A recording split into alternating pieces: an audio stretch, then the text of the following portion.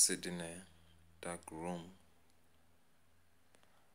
trying to turn my miseries, try to turn my hurt into inspiration.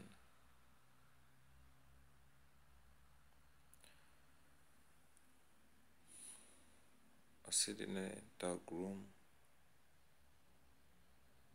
heavy burden with too many questions that will go unanswered. Every time I speak, or better put, let me say, the more I speak, the more I get silence. When I retort,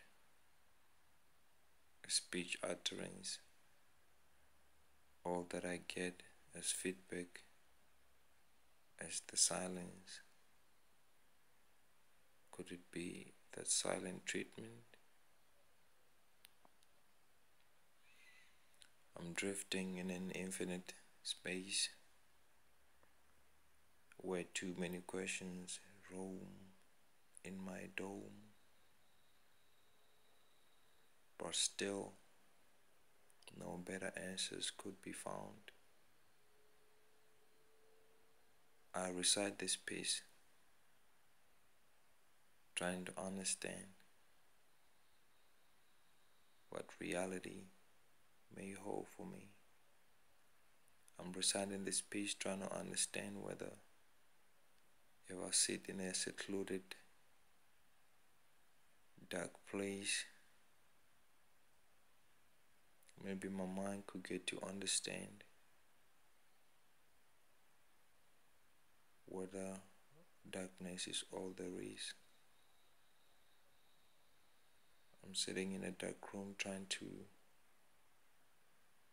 acclimatize, trying to get my mind accustomed to the idea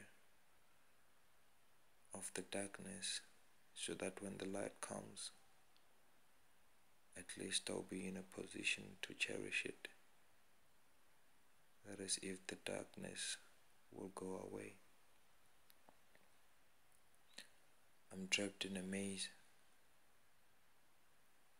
of too many questions left unanswered. There's a heavy burden on my shoulder. Nothing seems to take it off me.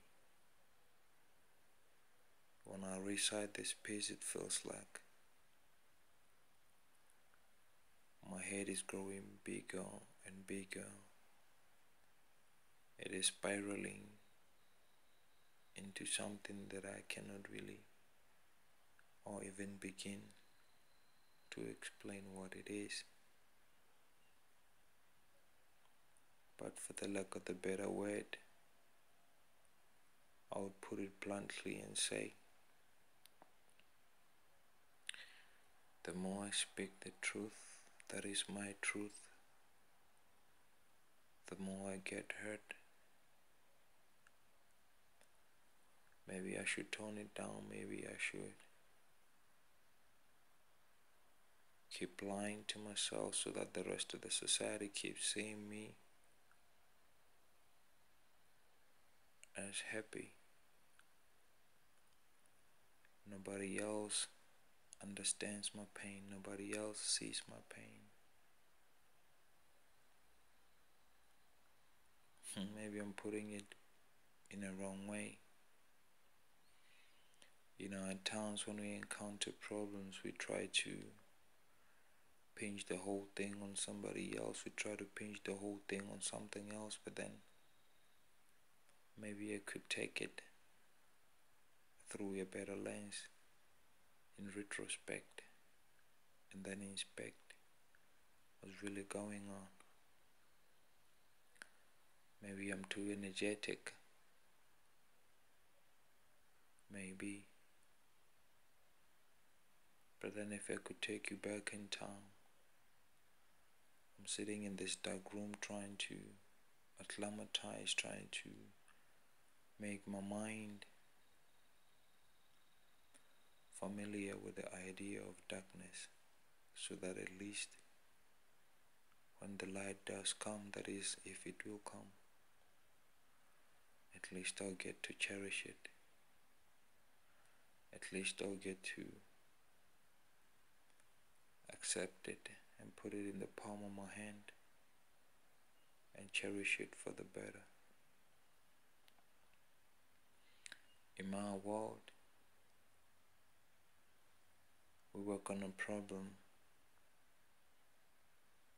we fix it temporarily, momentarily. We cannot keep the momentum. I guess we are not runners. We get outpaced by the problems. The minute we're working on it, we find the solution, but then the solution is the creation of another problem. What am I trying to say? All that I see is cyclic redundancy. When you look at it, you would assume we're going further steps ahead, while in actual fact we're still trotting at the same pace, at the same place. But then still I say, I'm trapped in this dark room trying to turn my miseries, trying to turn my pain into inspiration so that when I arrive tomorrow, at least my pain would have been shared with the rest of the world. That is, if the world is listening. I'll turn this dark room into a space where I could talk, a space where I could expose everything of me. Although none of you can see it clearly, it's very blurry. That's why you cannot see my pain, my miseries. I never understood what they meant when they said, whenever you're in a problem, it's like you could drown those sorrows in booze. But then I don't want to take the easy way out because I know when you get drunk, or whenever you use a certain drug to get rid of the pain. Then, when you doze off, you come back to reality and sober up, you're still faced by the same problem.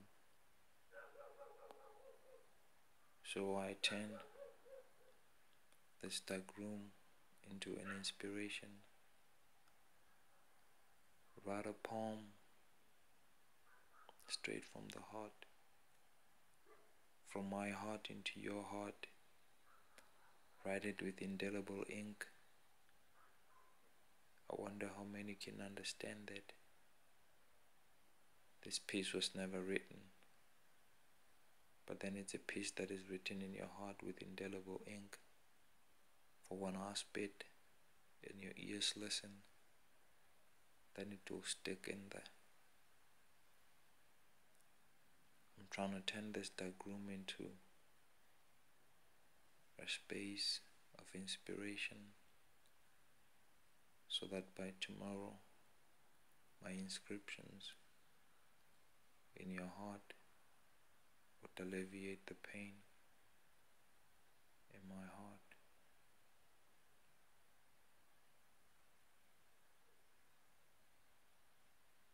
I can't even tell you to say what's in your mind. Selfishly, I put this before you to ease off the pain in my world.